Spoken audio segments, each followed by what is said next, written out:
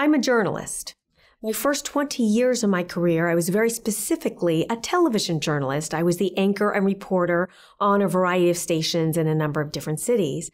This last year, I decided to make a little bit of a change, and part of it has to do with the changes in the industry because we all have to adjust.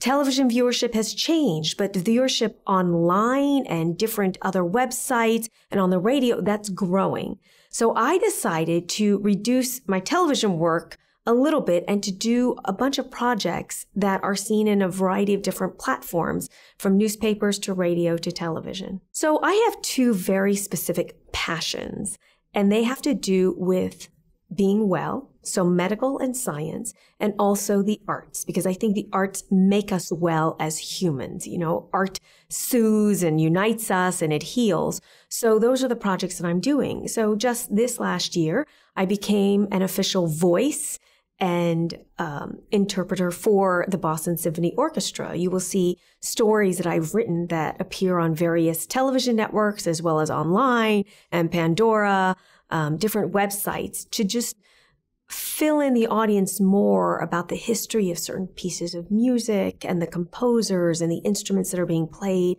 and concerts that are coming up.